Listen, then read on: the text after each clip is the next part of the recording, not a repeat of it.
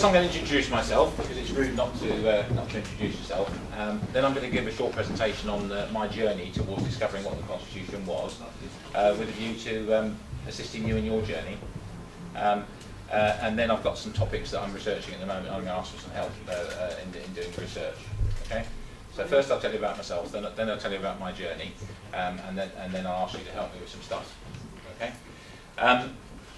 My only claim to fame is I did 30 years police service, retired in, in 2008, uh, but I woke up 10 years previously, which is a problem, isn't it? Anyone work for the government at the moment? Anyone ever work for the government? yeah, there's, there's at least one there. Those admitting to it. It is a problem. Um, uh, uh, what did it for me was the right to bear arms issue, because as a policeman on a daily basis, I meet people who've been victims of criminals, um, and uh, most people think, have we got the right to bear arms?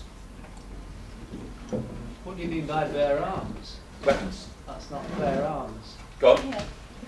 Bearing arms is that's a coat of arms. No, no, it's got two meanings. I think it's like a lot of legal words that have two meanings. Now, I'm referring to the American Second Amendment. Where, where did the Americans get their Second Amendment from? Constitution. Us, because they're, they're, they're Englishmen who've emigrated and kept their rights better than us. So, yeah, yeah that's what I mean, the right to bear arms. On a daily basis, people become victims. Um, uh, in the United Kingdom, uh, uh, we, we have the second highest figure, figure for violent crime, attacks on people. Um, uh, one behind Scotland. One behind Scotland. They may not be done with firearms, they're done with fists and feet and blunt instruments and what have you, and weight of numbers, but they're there, and we've got a very high, high violent crime rate. Uh, uh, and, and, and we don't have, uh, uh, we, we're not exercising our right to bear arms. Every other country in, in, the, in the world, for example, Italy, France, Germany, do a little test. Next time you're online, go to um, the gun shop in Calais, Calais in France, and look for arms for defence, and you'll see a whole blood-curdling list of uh, weapons that Frenchmen carry. And we don't. It's all been forgotten about. Would you like me to talk about that as one of the topics? Yeah, okay. Right. Um, so I wake up in the 2008. The reason I wake up is, is, is the, the, Dunblane incident. Uh, I'd, had, I'd had guns on certificate for, for many years, never shot anybody. Lots of paper targets, no, no, no people.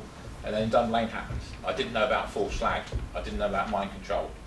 I didn't know about um, um, um, campaigns to whip up public opinion. And of course, all those happened. Can you think back? Can you think back to public publicity campaigns? Big posters appear. Nobody knows who's paid for them, and that sort of thing. Didn't know about it, but I did know that we had a Bill of Rights. And the reason I knew about the Bill of Rights, I was in the Territorial Army before I joined the police, and we had lessons on it. Soldiers have lessons on it. And the reason soldiers have lessons on it is because the soldier's oath is, I'll serve Her Majesty, her heirs and successors. Her Majesty, her heirs and successors. In the event of being an issue as to who the lawful successor is, um, soldiers are expected to make a, a, a, a judgment uh, and avoid fighting if at all possible. Make a judgment and heirs and successors. Um, which other uh, which other public official makes a similar oath? You think? Well, policemen don't. The policeman's oath is to Her Majesty, doesn't mention their successors. The magistrate's oath is to Her Majesty, doesn't mention their successors. But the judges, who are one half step up from magistrates, aren't they? Yeah, it is theirs and successors. So it's a little known thing that, uh, that the, uh, the establishment uh, is, has got a plan for dealing with the succession crisis. Um, I think we should have. I'm not keen on uh, Prince Charles being, um, being the next, uh, next, uh, next in line. Uh, I think we should have a publicity campaign, but that's, that's another issue. Who thinks Prince Charles should be the next king? Who thinks we should have a king? yeah, uh, more people agreeing. I can see where you're coming from. Yes, uh, that, that, that, that's my point of view. Now, I didn't know any better. If you spoke to me 20 years ago, I'd be Queen country and all that sort of thing. But I woke up, and what did it was, in fact, the, the Dunblane incident. Uh, a, a, court case was generated uh, by a friend of mine, as it happens. Uh, um, um, uh, his pistols were seized by the government, basically, as mine were, except for one. Uh, he, he, uh, five minutes to midnight on the last day for seizures, he, he deposited it at the Slough police station uh, and said said to the PC behind the counter, look after that because I'm going to apply to the Chief Constable for a Section 7 permit. Section 7 of the Firearms Act 1968, the Chief Constable can a permit. Um, and I'm also going to apply to the Home Secretary for what's called a Section 5 authority. Different sorts of weapons are put in different legal categories, and pistols suddenly became Section 5. And you could get a permit or a certificate from the Home Secretary, but they don't issue them. Why, why don't they issue them? Want to. Exactly, yeah, quite right. They've had a policy since 1969. Up until 1969, if you wanted arms for defence, uh, you could apply for an arms certificate, and, and you get them. And a lot of people did. Not many people got shot. Um, in the mid-1960s, there was one case where a private, a, pri a, a private security officer shot a bank robber, and that was about it. uh, uh, up, up until the, to the late 1960s, it, it, there was an issue. Bank managers would have a, uh, a free firearm certificate and they'd have a half dozen revolvers, and if, if they were on the day that the, the, the vaults were being empty or what have you, um, bank staff would be given, uh, given a revolver uh, to defend it. And it's living memory, 1969, it's not that long ago, is it? It's all been forgotten about, people don't know. Um, a quick way to find out about this, if you were, if you were to go to the British Constitution Group um, uh, website and, and, look for the conference in 2014, um, then you'll see a, um, a, video of me talking at length about it. And what I do when I do one of these presentations is, if I, if I, if I mention something, I'll send an email to the organiser uh, with the links. So you don't need to remember them, I'll, I'll, I'll do it. So your, your, your Rob will, will send you the links. Okay. Now, I, I said I was going to, introduce myself. Well, I've got a good memory, and it's not an accident. It's not an accident. Um, we used to have grammar schools, didn't we? Yeah, we used to have grammar schools. So, so I went to grammar school, and it was the only way for a sort of bright working class boy to get anywhere, wasn't it, really? Okay, I'm not saying I got anywhere, but it was me personally, but on the whole, it was a good thing. Um, and uh, I was fortunate in the sixth form to have a, a teacher. We all have one teacher we remember, don't we? Mine was Mr. Mulliner, a northern bloke, wearing a tweed jacket with leather patches on the elbows, like they used to. Um, and um, um, uh, it's 1972, so I'm in the lower sixth, and um, he persuades the school to do an experiment on the class. So there's, there's a British psychologist by the name, of, name of Tony Buzan, and again the link will be on the email you get. Yeah, Tony Buzan, yeah, that's right, yes, yeah, brilliant, brilliant psychologist. And he came up with a way of studying, remembering things, reading quickly, and absorbing information, and then reproducing it, yeah. Okay, so, so, so my class were experimented on, and I've ended up with a very good memory. Um, so it's not necessarily being, me being clever, it's something we, we can all do. And part of this movement should be to improve our study skills. Uh, because in, or in order to take the other side on, uh, you have to know what you're talking about, don't you, really? So you need to study, uh, and there, there is a method of learning to do it. And the upper classes have known about this uh, for many years. I don't suppose, if anyone goes to public school, uh, oh, there's one at the back, yeah, there we, there we go, perhaps you confirm this. Uh, in public schools, they have what they call the trivium. Yeah, and the trivium has got three, three topics, and it's a general purpose tool for learning anything. So the general purpose tool for uh, learning anything are rhetoric, which is understanding the spoken word, logic to work out logical conclusions from what you've learned, and rhetoric to persuade others. So public school was a taught, taught, taught the, the trivium, how to learn. And grammar. Uh, sorry? And grammar. Grammar. Well, rhetoric yeah, is part of grammar. Yeah, yeah, that's right. Uh, grammar is part of rhetoric. Um, so, so come exam times, uh, uh, uh, public school boys, they, they do public exams, like O levels or what have you, but they cram. They call it cramming. They learn it in a short period. and the reason they can do that is they've got a general purpose tool and they can cram. Uh, and they have a higher pass rate than average, and that still continues to the present day. But we whose, whose children went to the national curriculum, uh, it's my only regret in life, let my children be uh, educated by that system, um, uh, uh, uh, don't know about it. So again, I'll send you some links to the Trivium. And, and, you, and, once you've got these tools, then you can absorb, absorb information and reproduce it quickly. Because there may come a time when somebody asks you questions, uh, perhaps if you, you, generate a court case for something that involves you personally, you may have to think on your feet. Okay, uh, and, and, quite quite often in uh, barristers judges are generally posh boys, aren't they?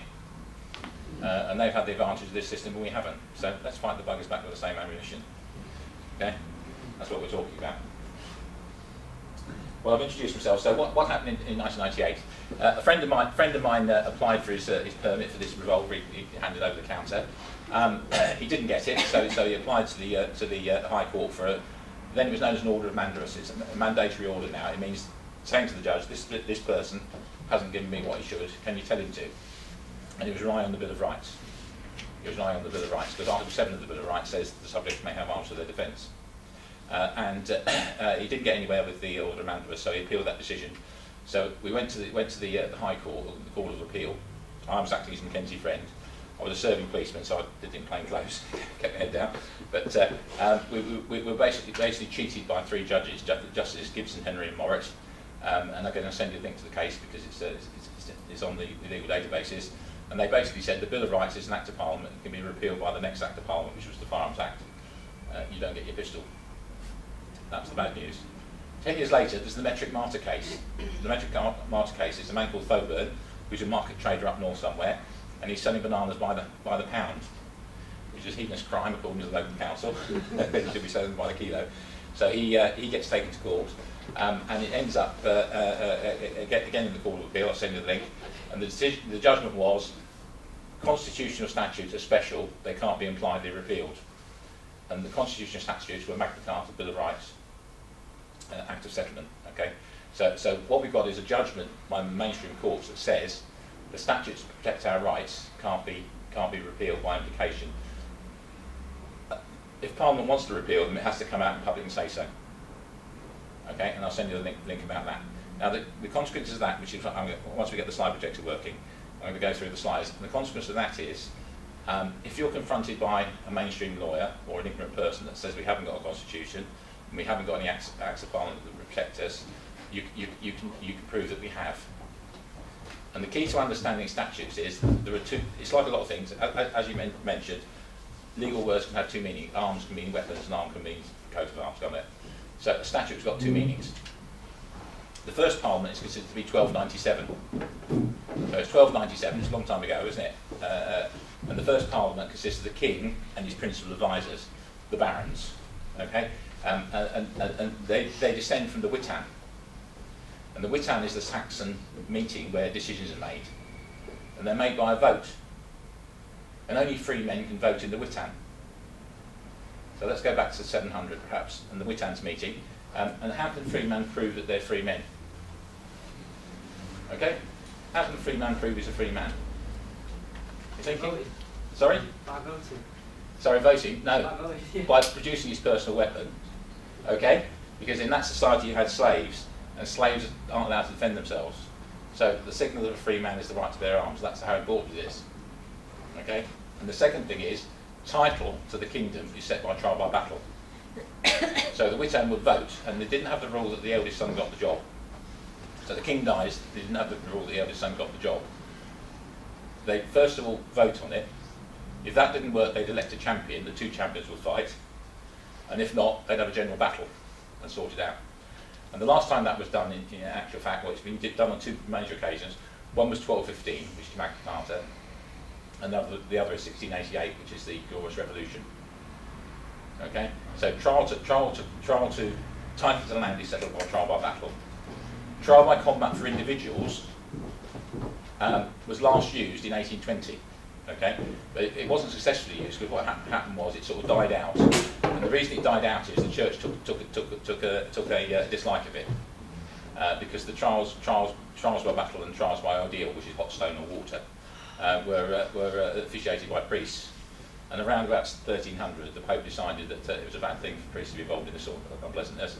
And that's, that's when Henry II um, offered trial by what we now know jury. Okay, um, I've been involved in running a number of grand juries, so I'll give you a, a rundown on that shortly, and I'll tell you how far we've got. Um, uh, it's good in parts. We're, well on the way to getting a test case, because the, the route I've gone down is um, we live in an adver- adversarial legal system, and the only way you can test something is by taking the buggers on.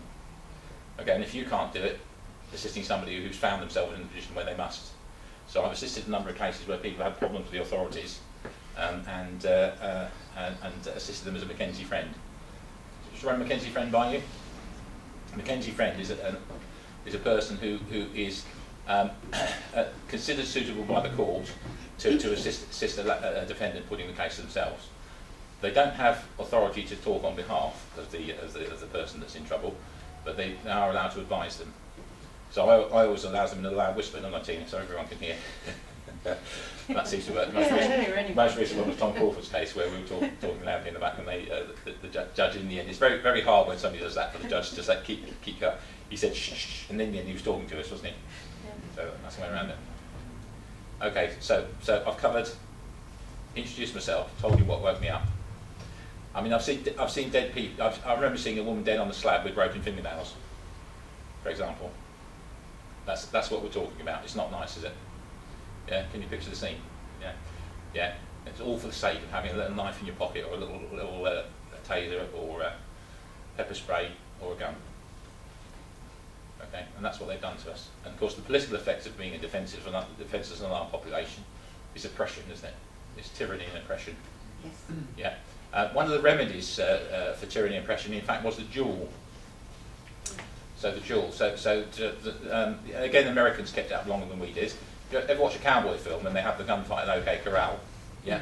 Okay. It was lawful for those men to fight because they could each claim self-defence. They voluntarily put themselves on either the, the position. It wasn't a breach of the peace. Uh, uh, uh, it was recognised that uh, as a final resort, when somebody has infringed your rights, you're entitled to call them out for a duel.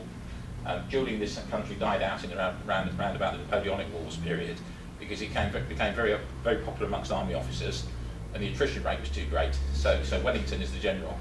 And he said, he said, cut it out, chaps. And we need you to fight the French, not each other, basically. And that's how it died out. It's like a lot of things. Gone.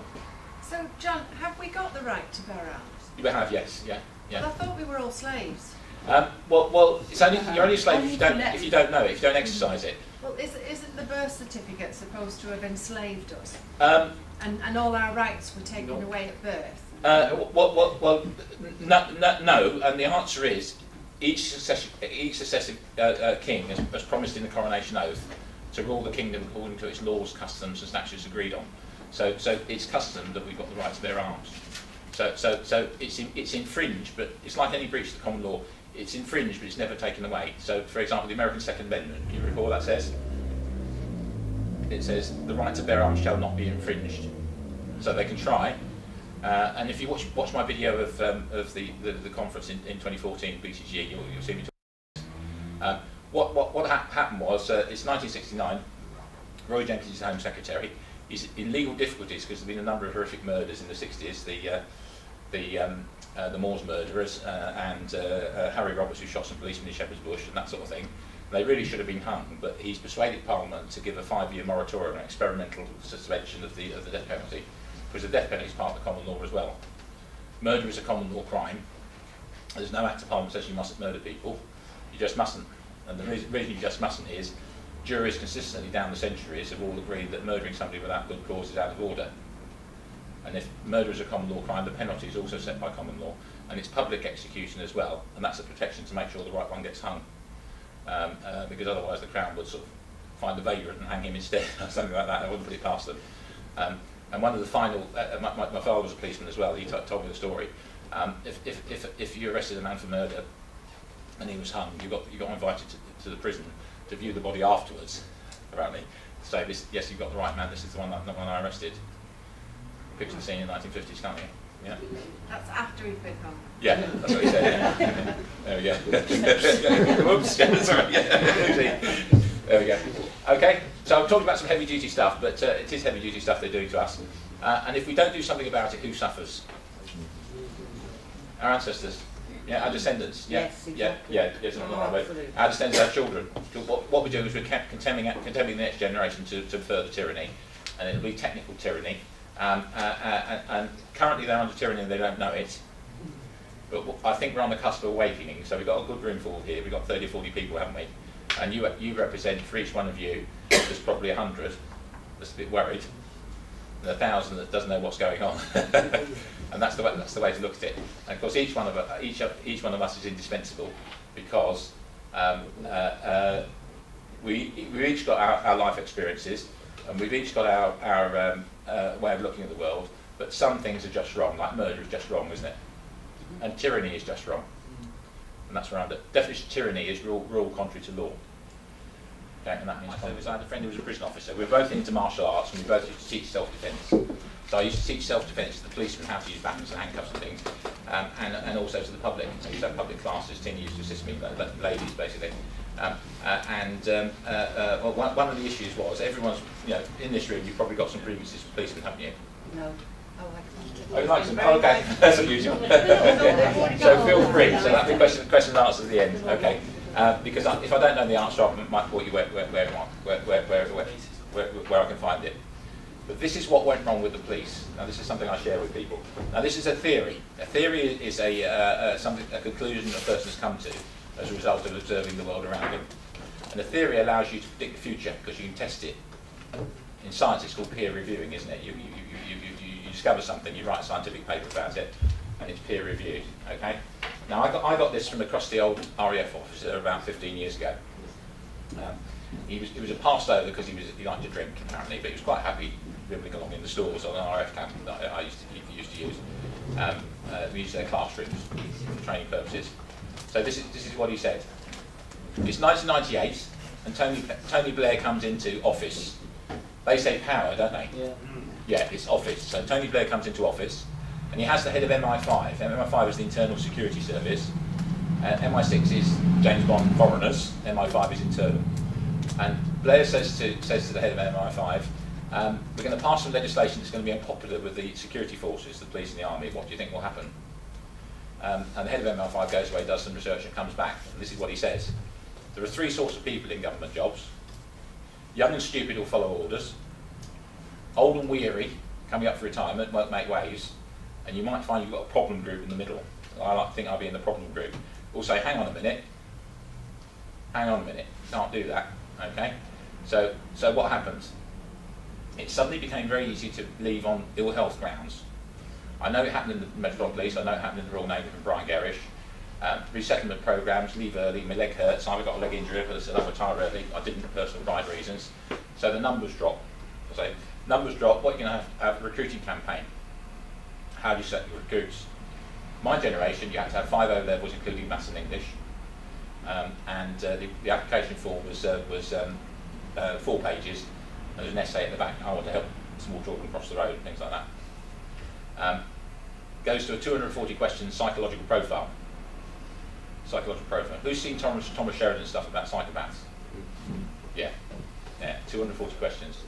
Um, and they do away with the educational standards because it was actually said Hottentots in, in Africa don't have O levels, so it's unfair to ask for O levels.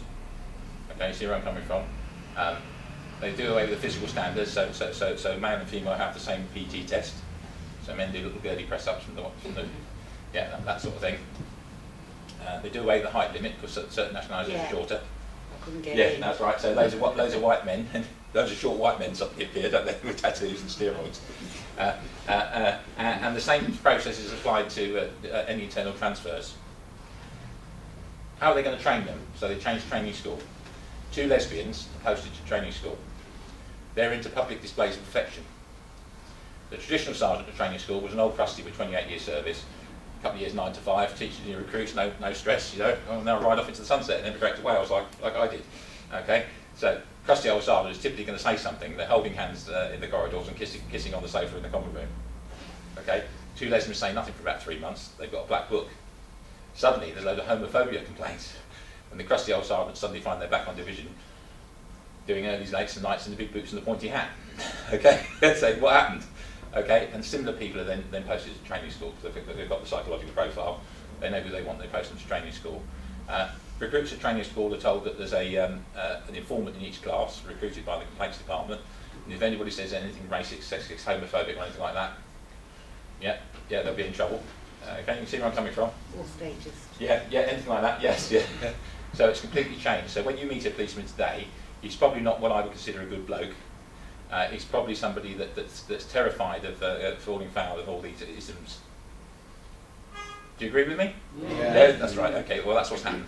Implied to internal transfers, a friend of mine wanted to transfer to CID. Um, one of the questions was, have you noticed any minority group that has a greater than, average uh, uh, uh, uh, effect, being a victim of crime has a greater than average effect on? And he apparently wrote, I've noticed that homosexuals get more upset than normal people. Hand the form in. Big hooter goes off at Scotland Yard. Two days later, he was called into the superintendent's office. You're barred from applying for three years. You know, uh, that, that sort of thing. So, so the regime completely ch- ch- changed. It's not funny, it's serious, isn't it? Because you don't have a representative sample of the population anymore. And the other thing is honesty. I come from a third generation police family, so for me to turn criminal, there's a lesson in training school uh, on, on, on honesty, and because I joined in 78. So don't accept a bribe less than half a million, because that's what you stand to lose. uh, half a million was your wages plus your pension, wasn't it? Okay, it's probably more now because of inflation. Um, and it's unlikely for somebody, the third generation policeman, to deliberately turn honest, dishonest, isn't it? Yeah? Okay, you don't know where these people have come from, you can't check their backgrounds, they're foreigners with completely, completely different, different ethics and morals, that sort of thing. And they're a problem to us, and they're potential oppressors. They're potential oppressors. Well, they are oppressors, aren't they? Yeah. So um, they remind me of the Terminator. The Terminator that um, uh, uh, uh, he won't stop. He, he will not stop. He will kill you. Yeah. And that's the sort of person we're up against. But the good news is, my experience is that one man in five, and I can't think of a woman it happened to, it's to be said, but one man in five, after about 18 months, they seek out the older policeman and say, training school's nonsense. okay, so it's some hope. So you reckon there's one in five who are going to come over. So we've all met some good policemen, haven't we, on, on occasion, who've done, done the right thing, but they're very much the minority. There's a lad we were speaking to downstairs who's 23. Um, where is he? There, there we go. He's probably the youngest in the room, isn't he? Yeah. So what's our mission? Who have we got to convert? The next generation, isn't it? Yeah, the next generation. Okay. So you've woken up. Well done. You've got a big job. Okay. You've got a big job. And that, you asked me downstairs, how many people do you think we're going to we need to wake up? Well, the remedy is, you remember I said I was in the army before I joined the police. We had lessons on leadership, cut a long story short, um, and the army discovered that only only three percent of the population are leaders. That was in 1916. In, in, the, in, the, in the first part of the First World War, uh, there were huge casualties, but, but unfortunately the casualties, and we now know it's the Rothschilds, were the best men in the country, both physically and morally. Okay, so come 1916, the Somme, huge casualties, big recruiting campaign, compulsory conscription, how are we going to select our leaders? So the Army did some research, it's only 3%. So our mission is to recruit 3% of the population, preferably the younger ones. So how are we going to do that? How are we going to do that? Sorry? Education. Uh, yeah, it was edu education, isn't it? That, that, that, that, that's right, it's education. Because I would say many people know something's wrong, but they can't put their finger on it. Many people know something's wrong, they can't put their finger on it. So the insight I was given by another person, it wasn't me, what they've done to us isn't political, it's legal. Because they've got control of the levers, the legal system, haven't they? Okay? Now, the legal system is basically based on precedent. Because remember, I was able to talk about the Witan and the, the, man, with, the man with the spear, you know, the weapon was, was the free man, and that, that, that sort of thing. Uh, it's based on pre precedent. And if the other side break precedent too badly, then there's a price to pay. And the price to pay is being caught out legally and also being caught out politically. Now, Rob was saying that he said, he said he's heard that the courts accept that if, if confidence is lost in the judges, what happens? There's no, there's no functioning judiciary. There's no functioning judiciary, that's right. And then what happens when there's no functioning, functioning judiciary? We go back to the law of the jungle. The basic law of the jungle is the blood feud. I get to spend more money because I don't have it taken off. Yeah, you don't have it taken off you, it's the blood feud. Okay? So, so primitive societies have the blood feud, where, where you kill me and my cousins kill you and your, your cousins. That sort of thing. And, and it worked up to a point. Uh, uh, but it, it was mess, mess, messy, messy and disrupted agriculture and that, sort of thing, because you were having private queues going on. So, so it's reckoned that King Alfred in about 843, one of, one of, his, one one of his things was he was the first powerful king to cover the whole kingdom. And the contract with King Alfred was um, you give up your right to personal self-defence and personal, per, not self-defence, personal right to rectify wrongs, you know, the blood feud, uh, and we'll have courts, and the courts will have juries, and the decisions will be made on a rational basis. And the bad news is that's been taken away from us, isn't it, gradually? Yeah, it's harder and harder to get into courts. It costs money this time. This time, and that's because the other side know how to run the tyranny because they've done it for a long time, and they've got lots of historical examples. So when we kick up to say to to, to uh, uh, uh, a humble magistrate running a council tax session, the big picture is bigger, isn't it? Yeah. Okay. So that's what we're talking about. So if you want to talk about council tax, I'm going to whiz on that as well. Okay. Any questions? Let's get, let's get, the, let's get the ball rolling. Any questions? What do you want to talk about? Rights to bear arms, police powers? Go on. Council tax. Sorry? Council tax. Okay, this is how council tax goes.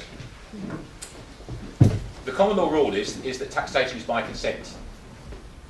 It's not personal consent, it's collective consent from the whole kingdom. And that was one of the issues in the, in the, in the civil wars. In the civil wars in the 1600s, we experimented with two different ways of running the country that were both the same. The Stuart kings um, had problems raising taxes in Parliament, so what did they do? Recruit mercenary army, shut Parliament, carry on regardless. Okay. We have the Civil War, round one. Puritans come out on top. What, what, what does Oliver Cromwell do? Has trouble raising taxes. He's got the new model army, shuts Parliament. Taxes Borrows it. Sorry? Borrows it. Yeah, borrows it from Jews in Jews in uh, Jews in Europe. Yeah, yeah, yeah. That's right. You, you shouldn't have done either. So, so, so, so one, one of the one of the one of the one of the, the um, um, Acts of Parliament which is still in force is called the Petition of Right, 1627. So, if you were to look up, and, and again, I'll send you the link. Petition of Right, 1627. What that says is no taxation without common consent in Parliament. How does council tax work? It doesn't. There's no common consent. Because what the, what the Local Government Finance Act 1992 says council shall raise council tax, and it will be set by, who's it set by? The council, okay? No comment said, yeah. So it's inherently wrong. Uh, and if you were to watch one of my videos called Starve the Beast, um, uh, which I did recently, um, it talk, talks about that. So what happens if, if, you, if you object to paying council tax? What, what measures are available to you? Yeah, assassination, emigration. Section, thir- section 13A of the, of the Local Government Finance Act 1992. Anyone, anyone know 13A says is this. In 2003, the 1992 Local Government Finance Act was amended, and that means an amendment means approved. Um, and what happened was Parliament decided um, uh, uh, council should have a general purpose power to give a discount for any reason to a person's council tax. Discount for any reason. Okay. What was what, what they had in mind was hardship in, in actual fact, because there are hardship cases. Or let's say, for example, you, your, your house has been flooded and you haven't lived in it. Is it, is it fair for you to pay council tax? So section 13A says the council may give a discount for any reason. Now you hear the word may, don't you, in, a, in Act of mm. Parliament. What do you think that means? Well, Well, Yeah, half the class think must, half the, half the room think must, okay? Because when you're applying to a court to do something, uh, which, which is your lawful right, which is to have a discount, may means must, the council must consider your application. So what's the legal personality of a council? Is it a bunch of, bunch of overweight Freemasons? No? or, or, or, or, yeah, okay, the legal personality of, a- of, a- council is set by an Act of Parliament from, from uh, uh, 1889. The Local Government Act 1889, section 79 says, the council have, shall have the same responsibilities as the inhabitants of the county. Same responsibilities and duties to inhabitants of the county. So you live in a county and you feel bound by Magna Carta, well the council's bound by Magna Carta, isn't it? Okay? So the council's got the same legal personality. So when you apply to a, to a councillor, uh, let, let's say the Terrorism Act 2000. Have you heard the Terrorism Act 2000? Yeah. There's a bit that says if, you're, if, if you knowingly fund terrorism, it's an offence, isn't it? Okay? Um, so, so if you object to council tax because you know the government's knowingly funds terrorism, and if nothing else, the VAT that the council pays goes to the central government, and we suspect a large proportion of council tax does, um, th- then we, it's not a question of you uh, not wanting to pay council tax, it's unlawful for you to pay council tax. Okay, um, so, so a number of council tax registers succeed on that. There's a man called Steve Spy. Um, we think he's, I, I think he's based in Brighton. I'm not sure. Manchester. Is it Manchester? Okay, yeah, he's been successful recently. He's used some of my stuff actually. Yeah, yeah. Um, uh, uh, uh, and can you think of some other reasons not paying council tax? I came across something last night, which actually, it's, a- it's a query on whether the council can prosecute anybody. Okay. Because they can only, on, this is under the Local Government Act Yep. seventy-two. Mhm, And it said that the council can only prosecute people mhm. or act as a prosecutor for the interests of other persons. Okay. Well, the- like the residents, it meant the residents in the Yeah, they would argue that, of course, raising taxes to, mend the roads is, um, is, uh, is is in their interest. But strictly speaking, of course, it's the billing authority that, that, that takes you to court, isn't it? Where I live in a, in a Welsh, Welsh county parish, it's the council, but, but round here it's the billing authority. I thought Rob- road tax was for mending the roads. Sorry? I road Well, tax wha- wha- whatever, for yes, yeah, yeah, yeah, good point, yeah, yeah, road tax, mend, mend, mend the roads. Okay, so, so, so the issue, issue is, what happens if you apply to the council for, uh, for a discount? They say no. They say no, okay, okay, and what, what- what, what does that mean? They've ignored an act of parliament, haven't they? And What does that mean when you, when you ignore the act, an act of parliament? Abuse of statutory procedures. Abuse of statutory procedures, well, ba- basically, basically you're suspending the laws or the effects of the laws, aren't you? And what does Article 1 of the Bill of Rights say? The Crown may not suspend laws or the effects of laws, okay? So what's the consequence of, uh, of uh, a law being suspended or ignored by any public body, a council, a policeman or whatever? Is it treason? It's treason, yes, that's right, yeah, exactly, and it's treason because the definition of treason is compassing the death of the sovereign in the legal sense or the physical sense. So in this case, it's the legal sense, of death. it? Yeah, yeah, that, that, that's right.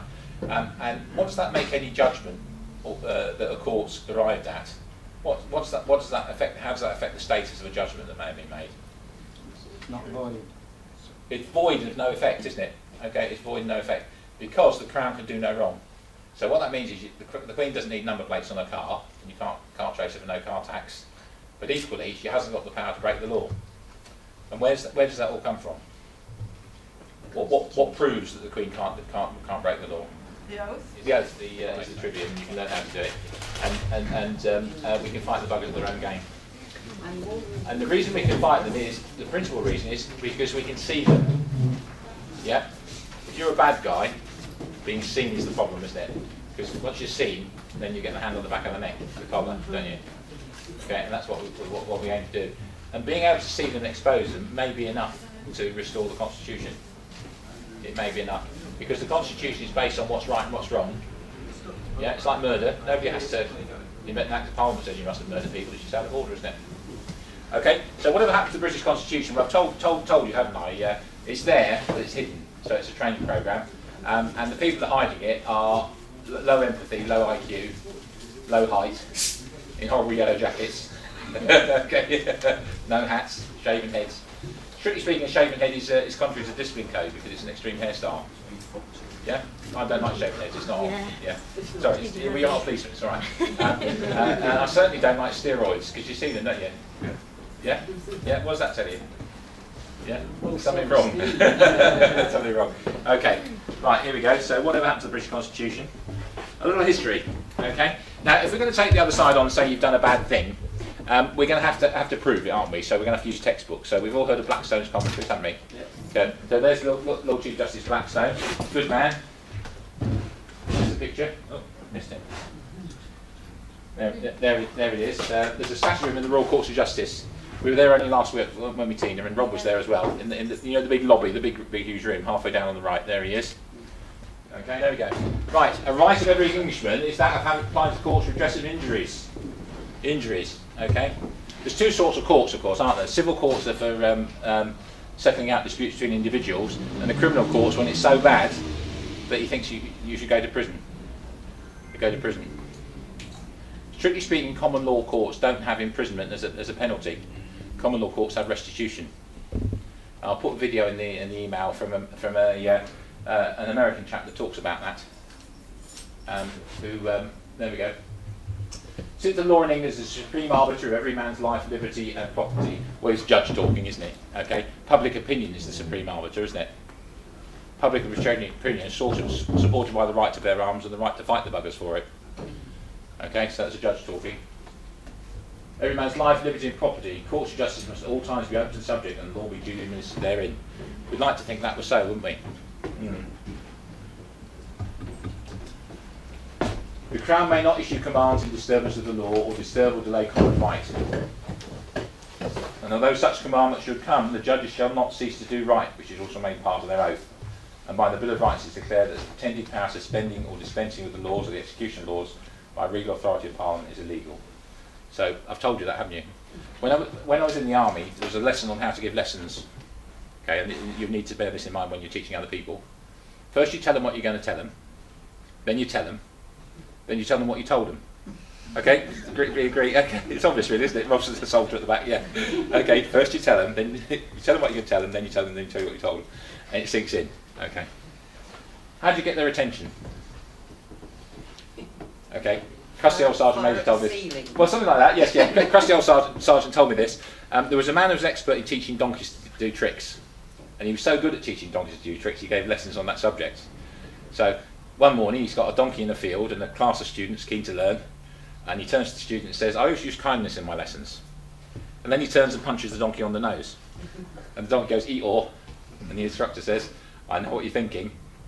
The lesson hasn't started yet, but I've got the donkey's full and undivided attention, haven't I? okay. okay, so that's the secret. So, okay, they've, they've got a problem. They realise realise it's serious, and you've got their full and undivided attention. Okay, uh, that's the that's the donkey strategy. Judges shall not cease to do right, which is made part of their. There's a lady, Dawn Oliver. Okay. Emeritus Professor of Constitutional Law at University College London. Hmm. Written loads of books, advised governments, got huge amounts of taxpayers' money over the years. What does she know about Magna Carta? There's a good guess, yeah.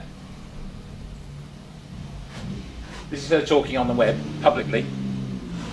I assume I'm not the only public lawyer who's decided to read Magna Carta and some literature about it for the first time this year and found some surprises. She's a fraud, isn't she? okay. I, I challenged her on that. She's a barrister as well, and she claims not to read Magna Carta. And the reason is, in the late late 60s, a lot of strange things happened.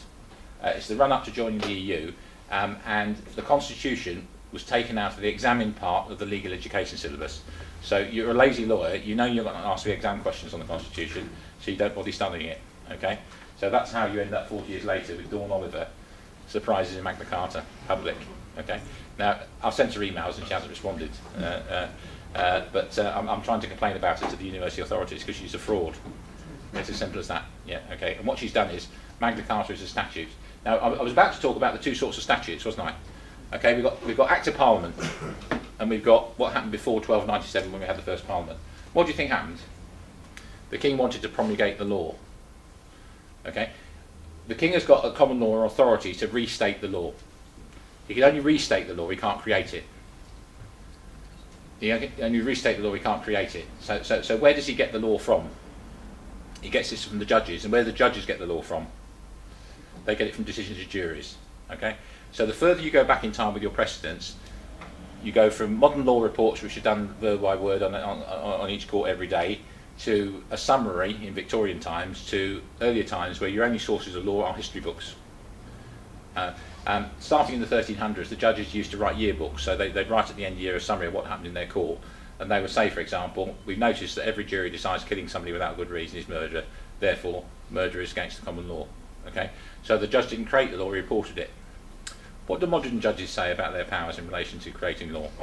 They are the law. They say they can, don't they? Yeah. Okay, we've got to put them right, haven't we? we've got to put them right. Okay, so they can't can't do it. And of course, the way they get away with it is is that even the judges haven't been, haven't been taught properly. Haven't been taught properly. Now the next question is, who does constitutional law apply to?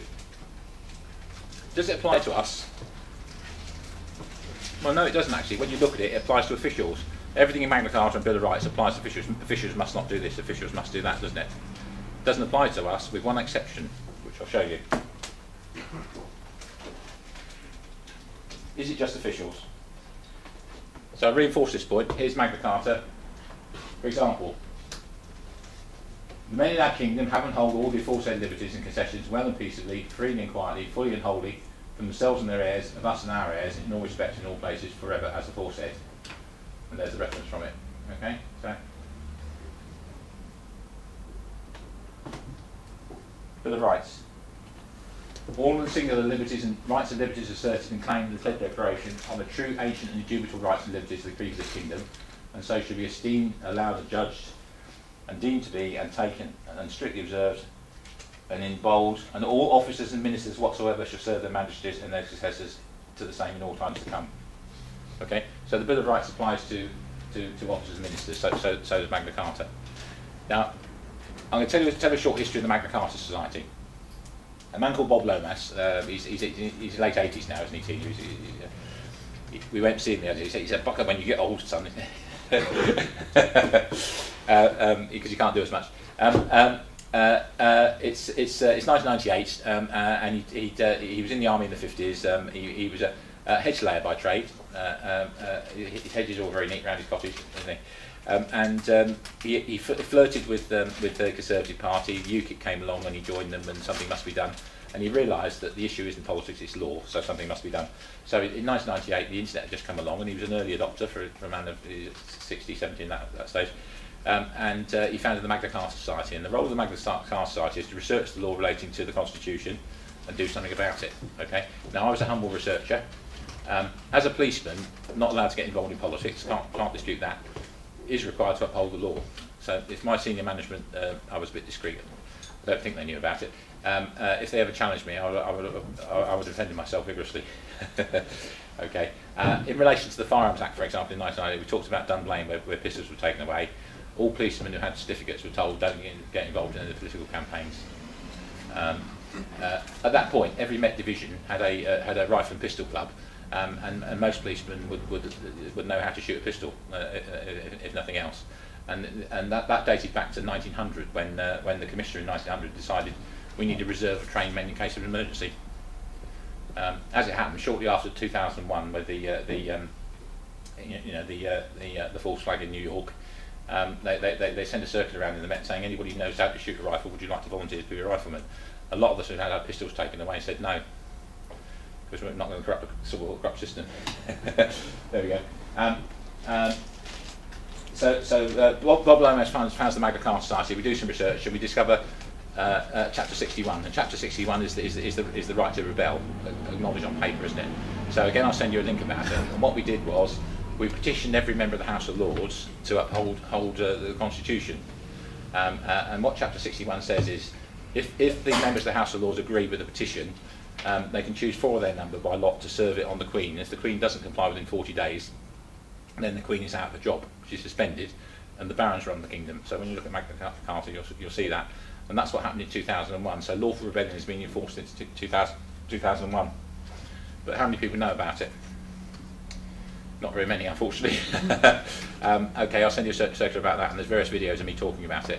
So when uh, uh, um, uh, um, when free men talk about lawful rebellion, a lot of free men are in fact talking about chapter 6, 61 and in, in, invoking it. Tina and I have gone into freemanism and come out the other side. And the reason we come out the other side is we don't disagree with the petition and, and the conclusion they come to, but they're not being effective in the courts. They're just getting getting getting steamrolled. Um, so so so the method I, I, I I've come to is to use their own acts of parliament against them, their own statutes. So so we've talked about a statute pre pre um, pre pre 1297. Um, uh, typically, the king would sit down and, and say, "Well, I've been petitioned about this grievance. I'll do something about it. What I'll do is restate the common law, um, and that recorded." Um, legislation.gov.uk. You've been on that website. A lot of you haven't yet. Legislation.gov.uk replaced the Majesty Stationery Office. The way you proved an Act of Parliament was enforced was getting a printed copy from HMSO, and then 12 years ago, when, when legislation.gov.uk comes out, that's how you prove it. Um, uh, and um, uh, I, I went through it once, and there, there are 13, 13 of the old style statutes on there. It doesn't say an Act of Parliament made at Westminster, it says a statute made by the King uh, in his council at Winchester, for example, if you look at that. Um, 1297, Parliament in its modern form evolves. Um, so an Act of Parliament is created by a matter, a bill, a list is de debated by the Commons, debated by the Lords, and then the King or Queen gives royal assent. So, that, so, so the ro royal assent just says, I've read this and it's okay. Okay. Elizabeth Saxe Coburg Gotha, okay, the present incumbent. Yeah. Yeah, she's she's a problem to us, isn't she? Yeah, yeah, because that's right. She hasn't followed her oath. There we go. Um, uh, and the reason she hasn't followed her oath, we, we're not sure. Uh, uh, uh, uh, but if you look at the coronation films, and I'll send some, some links to the films of the coronation, she is really young. Uh, she was she was educated by a Fabian. Uh, her professor of, of history was a Fabian. Um, and the other thing is the royal family have got got uh, chronically low IQ, haven't they? Yeah, uh, chronically low IQ due, due into breeding. Um, so so so um, he has let the side down badly. Uh, and um, I mean Brian, Brian Gerrish, we all know Brian Gerrish, don't we? For a retired naval officer, he's even more outspoken than I am. He calls her he calls her calls her Elizabeth the useless. There we go. Right, okay, so we talked about Magna Carta Bill of Rights, they apply to officials. Here's a measure that applies to private persons. Okay, now most of us get oppressed, oppressed by, uh, by officials, don't we? So, so we can say the constitutional laws apply to officials, but occasionally we get oppressed by a private person. Let, let's, for example, a private parking contractor. Okay, what they do is they, they, they threaten to fine you without a conviction, don't they? Yeah, okay. So does the Constitution apply to a private person? So let's have a look. You know it's coming, it does. Here we go. So Crown and Parliament Recognition Act. Just a quick lesson on, on how you interpret an Act of Parliament. Interpret means understand. Um, uh, uh, the first thing is there's, there's a thing called the Interpretation Act 1978, which I'll, I'll send a link to. Um, and it's, it's, it says words will have their own ordinary and natural meaning unless it's defined elsewhere in the Act. Uh, okay, uh, uh, which is common sense really. But it, the, Crown, the, uh, the, the Interpretation Act 1978 also says every act is to be taken judicial notice of. So they can't cherry pick acts they don't like. Okay, so they can't look at the Firearms Act and says, oh, it doesn't mention Bill of Rights in here. We'll ignore the Bill of Rights and say you can't have a weapon. They've got to, they've got to read both. And the Bill of Rights says yes, you can have a weapon. We'll talk about that in more. I think a few more people are interested in that. So what, what we've got is a measure of the Crown and Parliament Recognition Act. So a bit of history here. Um, you remember I, said, remember I said title of the kingdom is set by trial by battle? So it happened in 1215, didn't it? Um, the barons rise up, um, and when they rise up, uh, the first thing they do is re re renounce their allegiance. Now, as a soldier and a policeman, I, I thought it was for life. Yeah. Well, strictly speaking, soldiers for life, isn't it, Rob? Policeman, it says while I hold the office. So I thought the oath was. Uh, Well, until, until the Lisbon Treaty and the nullified all military passed. Yeah, that's another story. Yes, indeed. Um, uh, uh, uh, uh, I, I thought of oath, oath for life, and there's no way of getting out of it. There's no way of getting out of it. Lord Haw-Haw, for example, was an Englishman who went across to uh, Germany in World War II and had a prop- uh, ran a propaganda radio station. Um, uh, got topped, didn't he? He got hung. He was Irish. He's Irish. Yeah, another reason. Yeah, that's right. Well, he had he had a British passport at one point. Apparently. No, he Yeah. applied for British Did he? And he didn't get it. Yeah. Oh, so he was. Oh well, he shouldn't have been hung there, should he? yeah, technical detail. Right. Okay. Um, see, see, see what rubber gates. You see. Uh, we, we, um, I remember reading a book about an expert system. Uh, uh, an expert system is a computer program that's got distilled knowledge of a topic, and everyone in this room is now part of an expert system, aren't they? And we're, we're, we're, we're, sharing our ideas. There's, there's a theory about the spread of ideas, which I put to the young man there. Um, when you worry about something, you wake up. The first people you talk to are your trusted friends, because they won't take the mickey too much, and they won't drop you in it. Okay? And if you convince your friends there's a problem and they agree, they will tell their trusted friends, which is a slightly different circle, isn't it? So ideas spread. So that's what we're doing. So, so, so, so, so, so al- al- although I mean, Tina and I got seven children between us, my fault, completely awake. Sorry, completely asleep. Beg your pardon. Tina's three are awake. yeah, uh, my, my, my lot. My, my, my son's a commercial airline pilot, and he came to visit us in Wales. And Tina said, "What about these chemtrails?" And he said, "What's a chemtrail?"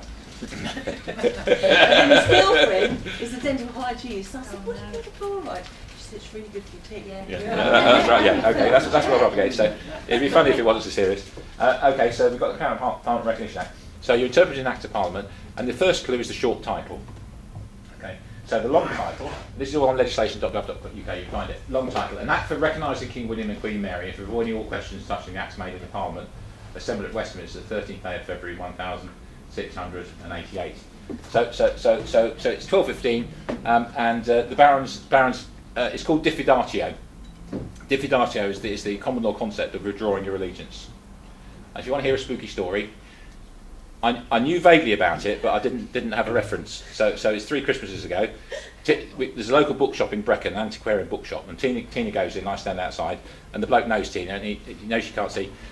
I want a Christmas present. I want a, a, a book on constitutional law. So he gets three books on constitu- constitutional law, antique books out. And Tina hovers a hand over the first one. No, not that one. Not that one. Third one. Wraps it up, takes it home. Christmas Day, open it, and it falls open. And guess what? The article. Diffidatio. And I said, I'm going to use this.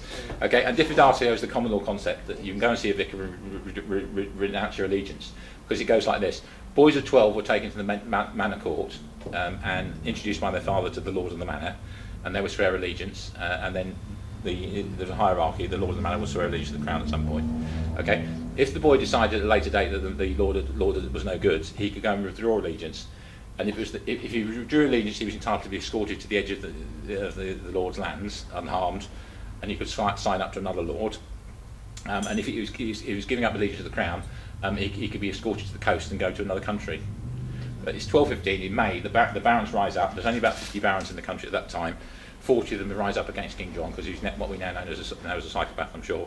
Um, and they go and see a, a, a, um, a vicar in, I think it was Wendover, uh, and, and, and they swear they, they, they withdraw their allegiance. And that way they're not traitors. That way not traitors. And then the rule on title to kingdom is set by trial by battle kicks in. Um, so they surround Windsor Castle. You know, you know the story. King John, King John counts the number of knights uh, uh, uh, camped out outside Windsor Castle. Um, he, he knows how many mercenaries he's got. and There's not very many because he's run out of money. Okay. Uh, in those days, they had heralds. Um, if you think of Henry V, the uh, the, uh, the the Shakespeare the Shakespeare play, just before the Battle of Agincourt, a herald, a Frenchman, with a fancy tabard looking like a playing card, says says to the king, "I've counted. You're going to lose. There's twenty thousand of them, and only six thousand of you." And and and, and uh, uh, Henry V sends him on his way. So I'm sure that happened in 1215 so there's no dishonour in yielding.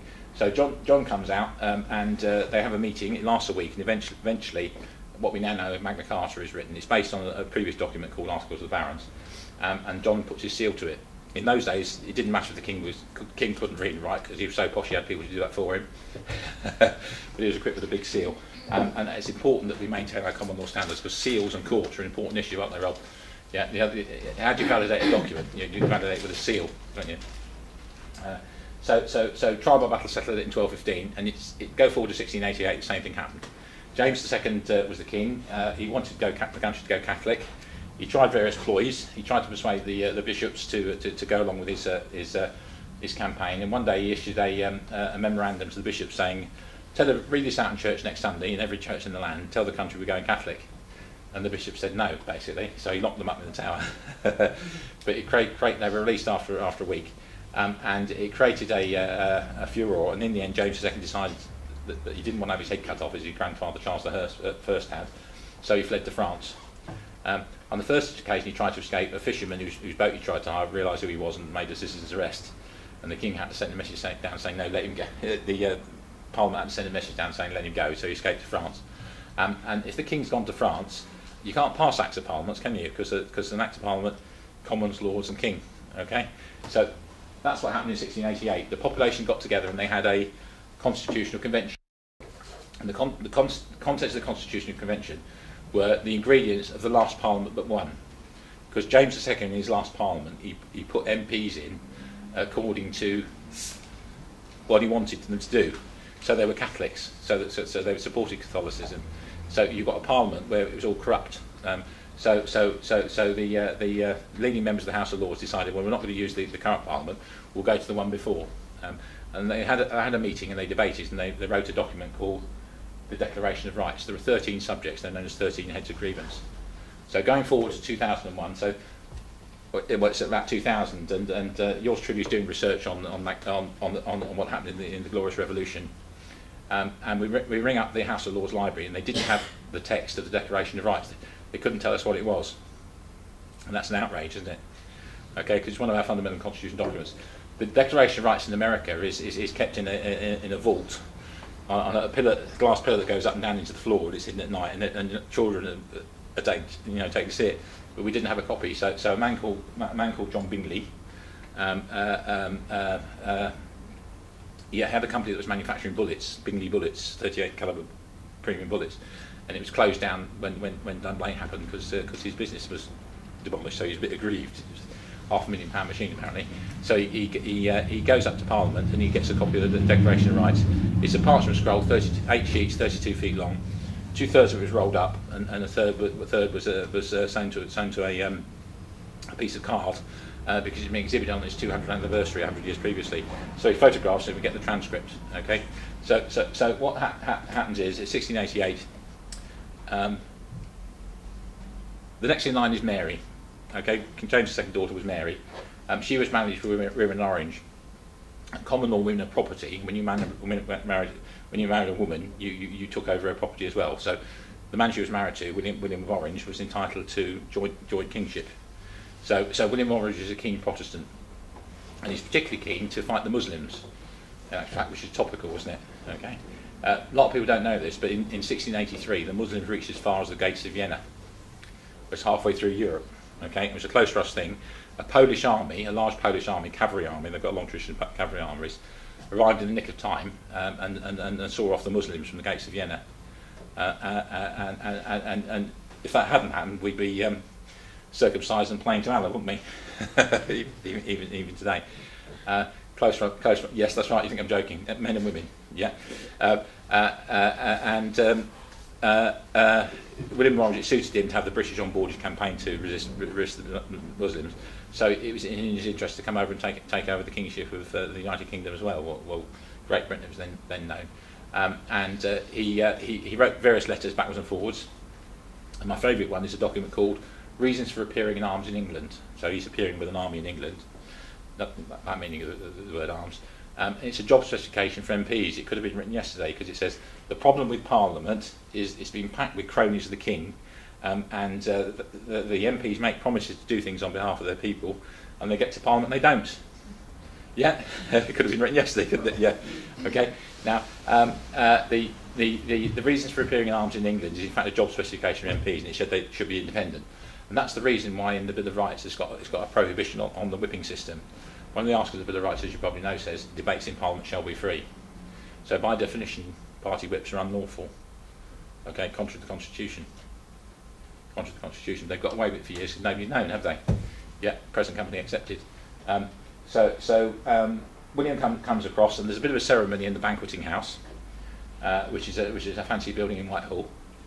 Um, it, it's, it's outside of which Charles I had his head chopped off, coincidentally. Um, and uh, the Speaker of the House of Lords reads out the Declaration of Rights. So William and Marion says, will you rule the kingdom according to these, these, these rules? Uh, and the, the rules are now recorded in the Bill of Rights. So again, I'll send you a link to the Bill of Rights. Bill means list of rights, rights of the subject. Um, now, um, may very well have been a ceremony in, in the Mansion House, and the, the you know posh people may have assembled and read something out, but it wasn't the Parliament, was it? Because the, because they had a Commons, they had a Lords, but they didn't have a, a king. Okay, but that's that, that that ceremony was considered to be the heart of the revolution. What that did was the people rose up, fought the king militarily, or they didn't have to have a battle because he did a bunk, um, uh, and that settled the matter. And so the people transferred their allegiance to the new sovereign. Okay, now uh, one of the videos I'm going to circulate with you is the coronation ceremony in, in, in 1953. And the key to it is the population, the, the, the estates of the realm are assembled in, in, in uh, Westminster Abbey, and the Queen is led round and she's introduced to the four corners the four, of the building, and then, then, then the, uh, the Archbishop of Canterbury says, says, says to the audience, Will you have Elizabeth as your sovereign? And as he does that, what does Elizabeth do? Curtsies, okay? okay? And that proves that the people are sovereign. So when you get a modern politician says Parliament sovereign, you show him the video and say, no, Queen sovereign, and she, she curtsied just before she got the job. And it also proves, proves she's, she was elected. She was elected. Now, they didn't brandish their weapons. They were too polite to do it in church, okay, perhaps. But uh, uh, it proves what we're saying. Saying is that the, medi- the, uh, the, the Saxon tradition of the Witan and voting for the king and that sort of thing continues to the present day. And then she takes the oath. Okay, so long title. Let's go on to the next one. Here's what, it, what, what it actually says. This is the Crown and Parliament Recognition Act. All and singly acts made and acted in the said Parliament were and are the laws and statutes of this kingdom, and such ought to be reputed, taken, obeyed by all the people of the kingdom. So what it's saying, yesterday, you notice the date change, it goes from 1680 to 1689. The reason is, um, the, the, you know the modern financial year begins in April. That's because the, the year did begin in April until the Gregorian calendar came in. So it caused a bit of confusion about the dates. Okay, so we've got an Act of Parliament, all and singular, ought to be by all the people of the kingdom. So you get a private parking person that tries to screw you for uh, 85 quid for parking on the outside of Sainsbury's. Um, uh, it's suspending the laws, the effective law, because there's been no no uh, no judgment against you, has there? Has there? So there's another tool to use. Okay. Right. The. I've talked about the Interpretation Act, haven't I? There we are. I'm repeating myself. You just notice every act is a public act to be judicially noticed as such, unless the contrary is expressly provided in the act. So they can't pick and choose acts of parliament they don't like. Statutes they don't like, because there are two sorts of statutes. Remember you saying? Acts of parliament, debated in parliament, given royal assent. Statute, restatement of the law, Magna Carta 1215, Declaration of Rights.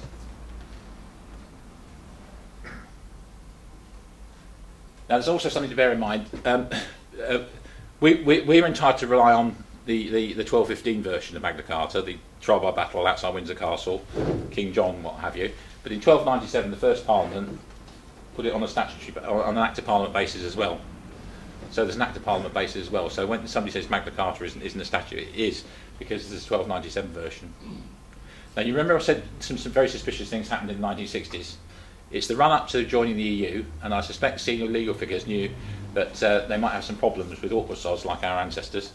I, well, my father was asleep, but uh, he didn't know any better. Um, uh, uh, at, at, school at that stage, there was no level on the British Constitution, and what I've taught you was, was if you did the O level, you know it, wouldn't you? Okay, of course they, they, they soon got rid of that one uh, when the national curriculum came in. Okay, so here we've got 1297, and the wording, for example, is exactly the same as the as the original.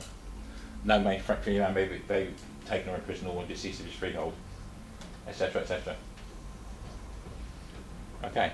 Now let's, let's imagine what happens. We've discussed it already. What, what happens if, uh, if, if a, a court done something they shouldn't do? The first thing is, and I did I, until I was part way through my service, when I had about 12 years in, I was a federation rep. There was an election, and I was federation rep all of a sudden. So I suddenly ended up defending people rather than prosecuting. Okay, the first thing I learned, first thing I learned was the federation is stuffed with Freemasons. Um, and uh, when, when, I, when I joined uh, the police, my dad, dad was a policeman. He gave me two pieces of advice. There's two people, you don't, two groups you don't have anything to do with. The first one was the Salvation Army. Okay, the reason is they're into uniforms, discipline, and wife swapping, and he didn't approve. I missed out. Sorry, dude. Um, and, and the second, second, second one was Freemason. So I was groomed three times. So I looked the part, didn't I? You know, you know, I was groomed three times, and I let it run the investigation as much as possible. And then I said I couldn't possibly do that. And, uh, uh, uh, it's stuff for them. It's uh, in my day. But one of the things I will say is, and this is an anecdote from personal experience, they may not be as strong as they once were. Okay, so it's it's about ten years ago. And the senior, senior um, Freemason on my division is a PC, but he's higher in rank than the superintendent. Okay, now political correctness has come in, and they've got this new recruiting campaign. The PC's son reaches the age of 18 and he wants to join the police. So he applies and he's told no quota for white people. They were quite blatant about it. No quota for white people. So the, the, the, his father pulled all the, all the um, Masonic strokes to try and get him in and failed. Years ago that wouldn't happen, so I think that's good news. Okay. I don't approve of the policy though. Now there's a hero that not many people know about. It's a lady called Shirley Leewald. She's an Asian-looking lady. Uh, uh, came to came to came to be a, a, a solicitor later in life, um, and uh, achieved some high qualifications. Okay, um, I've got to say she's paid the price. She's been handed out of the legal profession, and the reason she's been handed out of the legal profession is this document that she's, she's written. It's called the Void Order. Okay. Now the, the concept of the Void Order is, is in fact recognised in Chapter 61 of Magna Carta, and the King says, if any of my officials have cheated on any of the above rules, it shall be void and no effect. And the reason for that is, is the king can do no wrong. So he can't if he tried. Okay? That's where the void order comes from. So, so, so there's all the qualifications. Good lady. And this is the preamble to, to her. Um, the interesting, important nature of a void order of a court is not fully understood and appreciated in England. This article is written to assist the understanding of a void order, to assist legal professionals any concerns they may have submitting it to a court, that its order is void, if indeed, and if indeed it is void. And I understand what she's done, she's researched the American system. Okay? Because you remember I said Americans Englishmen who kept their rights better than we did? Yeah? So she's done research based on America. And what I've, I've found recently is, is that um, there are a number of common law, common law countries around the world. They're all descended from us. Um, um, and the, there was a judgment uh, about 10 years ago that said Magna Carta followed the flag. Because Magna Carta followed the flag is a flag decisions of the Supreme Courts in other countries, other common law countries, should be binding here. It's just that nobody raises it, okay? Because lawyers don't know about it because they're not taught the, they're not asked exam questions on it. Um, so, so, so, so, so the case to do with Magna Carta follows the flag. I'll explain it so, so, so you don't remember it. It's called ex parte Bancoult, and Bancoult is a, uh, a, a, an islander on, on Ascension Island. You've heard of Ascension Island, a little island in the, in the Atlantic. The Americans wanted to use as a runway to go and bomb somewhere. They're always bombing places, aren't they? Um, uh, and uh, it, it, was a British territory. Uh, it had been captured, captured by, by Britain. Uh, you remember said title land is settled by tribal battles. It had been captured. It was probably a, a losing fight, you know, no royal neighbourship versus a load of natives. there we go. Um, and uh, the, the, the British government uh, gave the Americans a 30-year lease to build a big runway to go and bomb somewhere. Um, and and, and, and uh, after a number of years, 20 years later, Mr. Bancoult, who is one of the displaced islanders, goes to the High Court. It's one of the occasions where the High Court in the Strand did the right thing. Um, and what they did, they established that Magna Carta follows the flag. Um, and I'll put a link to the judgment in, in my email. And, and, and if you, it's a, it's a long judgment, but um, the, the way to prove that Magna Carta is valid is, is if you, um, you know the find button on most word processors, if you put Magna Carta in the find button in Bancoult, you'll find loads of references to it. At one point, the judge says to a barrister, surely you're not arguing that Magna Carta can be repealed? And the barrister says, oh no, sorry. Things like that. Very useful, useful to our cause. So ex-party Bancoult verified that Magna Carta follows the flag. Um, and, and that's, that's, that's the chain, the legal argument is, is the Supreme Court judgments. Now, in America, they've got a case called Marbury against Madison. Okay, it's, it's, it's 1805. And what Mar Mar Marbury against Madison said is that, is that um, if Congress passes a statute which is contrary to the Constitution, it's, it's not a statute and therefore it's void. Remember the Constable, the King, king can do, do no wrong, Queen can do no wrong. Marbury against Madison, and we haven't had a Marbury against Madison. We haven't yet had, had, a test case where the, the validity of an Act of Parliament has been tested. Now the courts don't like it because they say the court doesn't have power to go against an Act of Parliament. But the correct argument is if, if they've presented something and it's established it is an Act of Parliament, they're not going against it, are they? It's just not an Act of Parliament. You see the, see the leap? They say we can't go an Act of Parliament, and we're saying we're not, we don't want you to go act against an Act of Parliament. We just say if it's not an act of parliament, you're not going against it. There we go. So here's Shirley, Lee will talk again. Shirley Lee will avoid all the results from a fundamental defect in proceedings, Upjohn, Lord Justice and Re Pritchard deceased. Without jurisdiction, ultra vires act of a public body or, or judicial office holder. Okay, so fundamental defect. What's the fundamental defect? What's the definition? later in the article. A fundamental legal includes where proceedings appear to be judicially fair to comply with the statutory requirements. Statutory requirement. Now we've talked about council tax, haven't we? I've talked about section 13A, which says the council may give a discount, and you apply for a discount and the council ignore you and go straight to enforcement. What have they done? They've ignored a statutory requirement, haven't they? So it's void. There we go. Just amplify this. So the judgment they're talking about is Pritchard. A fundamental in proceedings will make the whole procedure nullity. A nullity cannot be waived. You can't say, okay, you can do that. It's never too late. No statute of limitations. And the person affected by a void has the right ex debito justitiae to have it set aside. Okay, I'm not saying it's going to be easy, but you can. Okay. And once we start doing that on a, on a large scale, then the other side realise they've got a problem, don't they? Okay, that's the end of that presentation. Any questions? If you're not careful, I'll start asking you questions. yeah? Camera Right. tractor. Go on. A couple of issues here. Some we found, actually, you know, we, we, this information is not very deep. You get a copy of the secretary, if the guy comes to meet, you guys come to the meet, the Encyclopedia Britannica, you get a copy pre-EU, so reason was in there. Mm-hmm. We found out from there, the Queen, is this the Queen we've got now, is the first monarch of the United Kingdom. Parliament became the Parliament of the United Kingdom in 1811.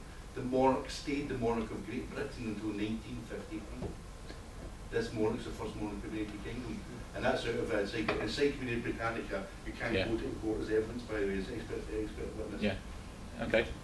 Right, gentleman there, yeah. I'm just, uh, it's just a quote, Master Leslie up at the Royal Court. Oh yes, yeah, yeah. He's good in parts, isn't he? He's Yeah, he actually, he actually stated, uh, in front of somebody, that Parliament reigns supreme. Okay, now the answer, to that, I'll answer that. Um, there's a, there's a school, school of lawyerism called diceyism. Diceyism, and you heard the phrase "that's a bit dicey." Yeah. Yeah. Okay, it means it's a bit dodgy, doesn't it? Okay. Um, uh, so um, uh, the answer, if you look at Dice, Dice, Dicey is a professor of law at the Oxford University. He writes a series of books on the Constitution over about 30 years, and he changes his position. Okay, and towards the end, he decides that uh, uh, par- Parliament isn't supreme because because because if it came to it, the population could could resist un- unjust laws.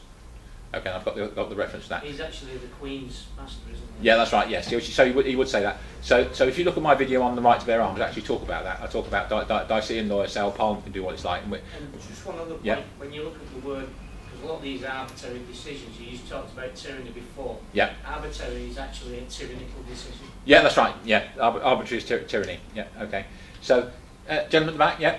Yeah, I just want to ask, Parliament ain't sovereign, but the City of London, the square mile, they're, they're not bound down by the same laws as we have here. Yes, that, that's that's So right. That's, so that's a huge mass problem because nobody's challenging. Yeah, that, that's right. Nobody's challenged it. Uh, and, and the issue is, so, so the issue is what is the status of Parliament? Unfortunately, they're recognised by a royal charter in 1066 because because um, William the Bastard came over from France was shrewd enough, uh, and it's never been changed, hasn't it?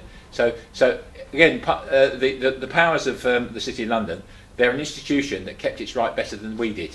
Well, it's the City Yeah. of London Corporation. Yeah, that's right. Yeah, yeah, And I agree. The, the guy who sits behind the Speaker, Yeah. the House of Commons, The is remembrancer, yeah. remembrancer, Yeah. and he's the one who says whether Yeah, that's the right. laws are going to be So, passed. so one of our jobs is, is, is, is, to, do- is to do that, isn't it? Yeah. is- they, they, they've kept their rights better than we- we have. So one, one of the issues is, is to, is, is to um, uh, have a new constitutional settlement uh, and take away that privilege. Yeah. Yep. They're actually writing a new constitution now. Uh, well, they've got no authority. They've got no authority. They are though, aren't they? Uh, they- they are. But they, now, they, they will write an act of parliament. It'll have the same status as the Bill of Rights, in force until the next bunch of politicians come along and repeal it. So it's not, it's, you know, it's toilet paper as far as I'm concerned. Um, having said that, Rob's done some good work on the on the Human Rights Act, haven't you? Um, uh, and Rob's argument, if correct me if I'm wrong, is is that our common law rights, also known as liberties, are in fact acknowledged in, in, in the Human Rights Act. You say, wouldn't you, Rob? Well, the Human Rights Act, uh, sorry, prior to the Human Rights Act, what the Constitution did was we were responsible for defending our rights and liberties, and the courts were there to assist us. Yeah. Clever trick they did the Human Rights Act is they turned it around. Hmm. We're no longer, we've, we've no longer got the ability to defend ourselves and defend our rights and freedoms. We've got to go to nanny state to ask them to defend the freedoms that they allow us, the rights us. And it's a complete fundamental switch over. Yeah. The Human Rights Act needs repealed. Yeah, it, it, it, it does. Um, there's a thing called a relator action. I don't know if you come across it. The Attorney General is the Crown's principal law officer. He or she um, can assist people claiming their rights. Um, so Tina and I have tried that, haven't we? Um, uh, uh, uh, uh, um, I did five grand juries in, uh, in, in, in, in earlier, earlier in the year, and I've, I've, su- I've submitted the results of the grand juries down various different routes. And one of them was to go to the Attorney General and say, look here, common law right to do, thi- do this, uh, it's being infringed by police forces, right to bear arms, that, that, that one.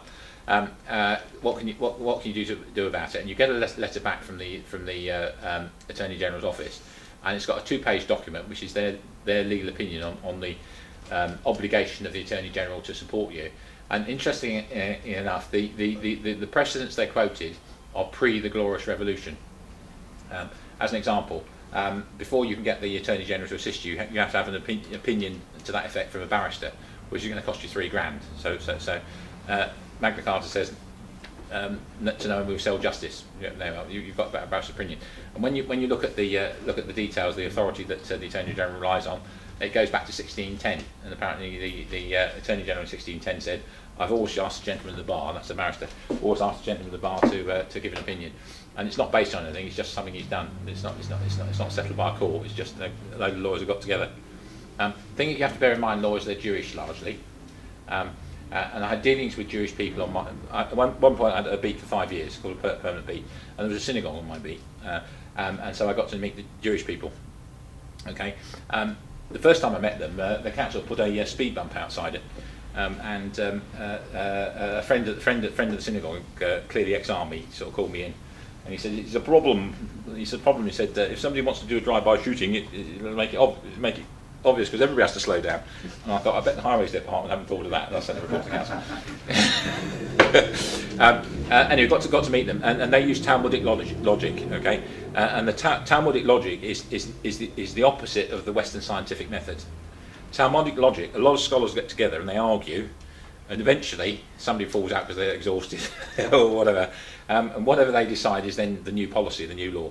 For example, Freudian psychology was achieved like that. Uh, the Western, Western system is a scientific method where you observe the world, you, you, you, formulate a theory, it's tested by your peers, um, uh, uh, and it's repeatable. Uh, so, so the, court, the, the courts, because it's their stuff with Jewish people um, who've educated on the Talmudic system, um, uh, a lot of their arguments are, are, are like that, aren't they? And there's a, there's a good example. Okay, any, any more questions? Um, It wouldn't be our peers then, surely. yeah, yeah. Um, uh, trial by our peers, yes, that's, that's right. Well, Yeah. then if they've got another, uh, if they're involved in other uh, ideologies, they're not our peers. Well, the, pro- the problem with Jews is the Kol Nidre. Uh, um, uh, observant Jews are required to go to church once a year, once a, uh, talk, uh, synagogue once a year, and they swear the Kol Nidre oath that says, "I revoke any oath I made last year. I revoke any ro- uh, oath I make it in the next year." So again, I'll send you the link to Kol Nidre, uh, and what it, what it means is they can't be trusted um, because in their in their in their in their uh, in their uh, ideology.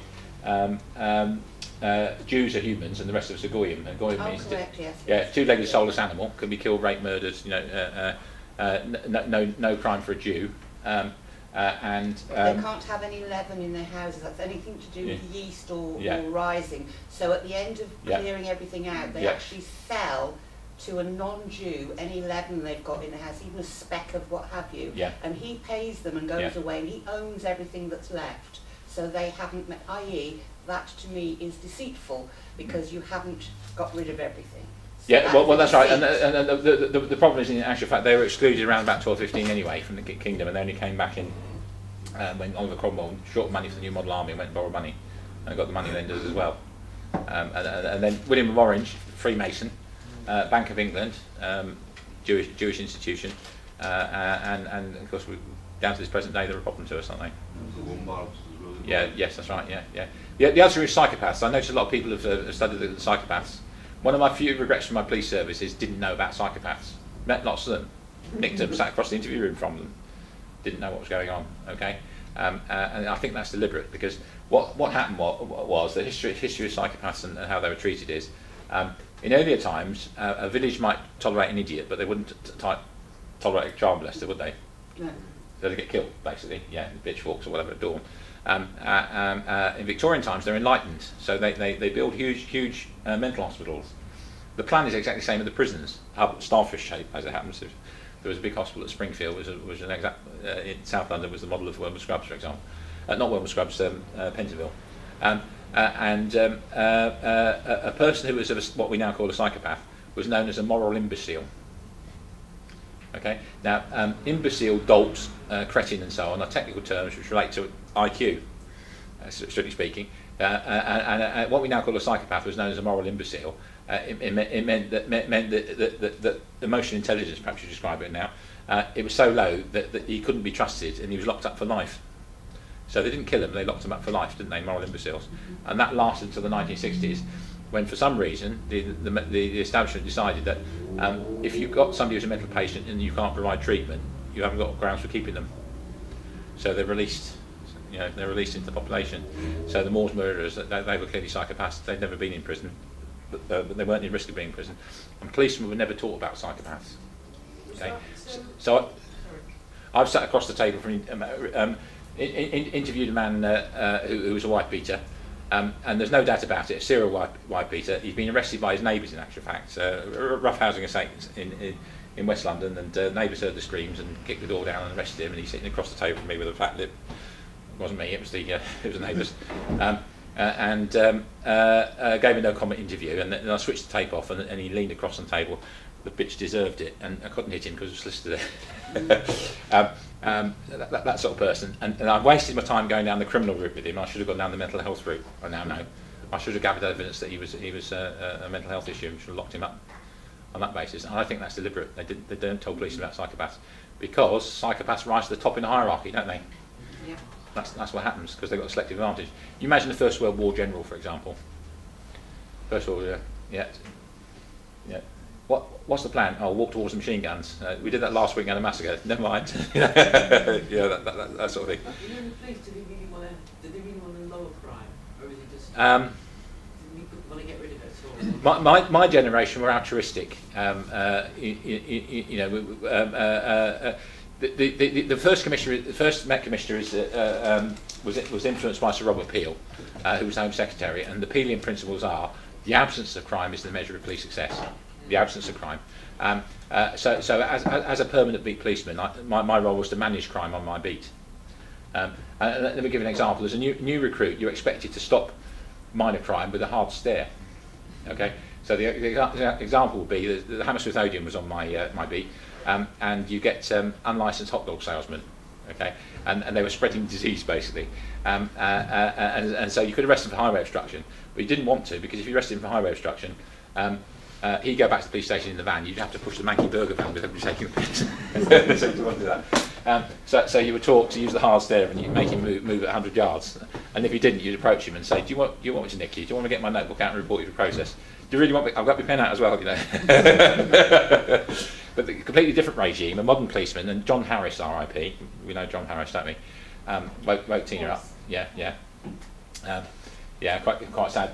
One, one of his one of his slides is a policeman in a white shirt, and there's a policeman in right gear with those horrible yellow plastic jackets, isn't it? Yeah. And the one on the one on the right is me, uh, common law, and the one on the left is the modern one. And what's the one on, on John, John's uh, John's slide? He's clutching a big book of tickets, isn't he? He's got a quota. Yeah. So completely different regime. That's that's what's happened. Um, and uh, uh, some of them don't know it, you know, because they don't, because they, they, they're not talking to the older policemen. The Older policemen are only too keen to leave. Um, uh, a lot of older policemen did leave, and, and, and the, the regime has changed overnight. Um, well, yeah, your quotas. Yeah, the reason for the quota is so, so that. Yeah, well, of course, yeah. Rob, Rob was saying, aren't they, Sodexo and all that, that, that sort of stuff. Again, that's a hidden scandal that we need to expose, isn't it? Is that down to Parliament or ACPO? Um, um, it must be Parliament because ACPO doesn't have authority of its own. It's, a, it's it's no more it's no more uh, authority than the, than the village gardening society. Uh, uh, it's just a load of, load of people who happen to have risen to the top like the scum in police forces. Um, uh, uh, the, the, the ACPO came about in 1963 because what happened was there's a Royal Commission on Policing in 1963 and the judge was quite a good egg, but he reduced on Home Office as a result of Home Office pressure, he reduced the number of police forces from 240 to 43. Um, and he also introduced a rule that the chief constable had to be had to have been a constable. Because prior to prior to 1964, the chief constable was a member of the establishment. Okay, so in a county like where we in Paris, it would be the hunting, shooting, and fishing sort, and one of their number would be the chief constable. Never been a policeman, but uh, but uh, maintained a link between the police force and and the and, and the local population, um, uh, and um, that seemed to work well for many years. But now you've got um, you've got Home Office approved training programs for chief constables. Okay, and what do you end up with? A frightened yes man norm, normally. I don't, they, they, they, they, they appear vicious, but I've I've dealings with them. Uh, they're, they're, they're frightened yes men. In fact, I read a book about chief constables, and it, it, it said a small minority are action men, but the rest are frightened yes men. Um, Commissioner Stevens, who's one of my favourite commissioners, um, he regularly used to be driving in his, or dri- being driven in his, in his staff car around London. If he saw a crime, he'd lip it, lip it, jump out and nick somebody and take him into the police station. Well, I'm shocked. Okay, gentlemen, there, yes, yes. Do you think we will um, get out of the European Union? Well, we're not in it, um, uh, strictly speaking in law. And the reason is, the Vienna Convention on Treaties says if, if a party to a treaty is an agent of the other side, um, then it's void. And the reason is Edward Heath was a uh, child molester, as we know, uh, subject to blackmail, um, uh, went over to Germany in, in, in just before World War II um, uh, with his boyfriend, um, took a keen interest in Hitler Youth, got compromised, um, and, and then became an agent for the other side. Um, so so, so, so um, uh, uh, uh, we're, not, we're not in the EU lawfully. There we go. Um, the, the, other, the other side disagree, but um, uh, that's, that's the law on, on treaties, isn't it? Um, uh, it's probably one of the reasons why the uh, establishment, current establishment don't want to investigate Mr Heath. Yeah, mo- more important than child molesting, really. And the reason is treason is more serious than murder. It's the worst possible crime, isn't it? It's the head of all crimes. The thing Yep. is, John, no one listens. You, you can tell these people these Okay. things. Yeah, I, I, I know what you say. They're just whitewashing everything. Uh, well, there'll come a point in time where, where, where, where, where they know they can be seen. And I think that's where the psychological pressure com- com- com- comes on and they, they will start cracking. Because I, I, I, I've interest, interviewed tough guys. Um, I mean, you're not allowed to hit them, obviously. Um, not allowed to hit them. Um, uh, uh, uh, but you might give the impression you might. Okay, that's what I'm saying. Um, uh, uh, and um, uh, event, eventually they will crack. And the thing that thing that, that worries worries a tough guy is if there are other associates of his that have also been arrested, they can never. Prisoners are kept separate. They can never know what's what's what's what's been said. And there's always the option of Queen's evidence, isn't it? So so Queen's evidence is the, is is the the policeman on behalf of the Crown can say. Um, uh, uh, uh, if you if you give evidence against the other parties, I'll tell the judge, and the, judge may well give you a more lenient sentence. And that that that was approved by a judgment. Um, uh, it's a bit like suspending the law, isn't it? So I'm not entirely happy with it, but I've done it. Um, um, uh, uh, and, and and so once we get a whistleblower, once we get once we get a person with an out, outbreak of conscience, like like the the lady lawyer we spoke about, then, then we've got something to work with, haven't we? And of course, we live in the age of the internet, don't we? We can all talk to each other. Um, uh, we can share stuff, uh, and uh, we're a self-selecting group of, of, of people that know there's something wrong. And the difference is between us and the population is we know what what it is now, don't we? Yeah, you knew it before. I did. did I did. I, I told you some things you didn't know, but you knew it roughly, didn't you? Yeah. You look at the short policeman and think, where did that come from? You know. I did.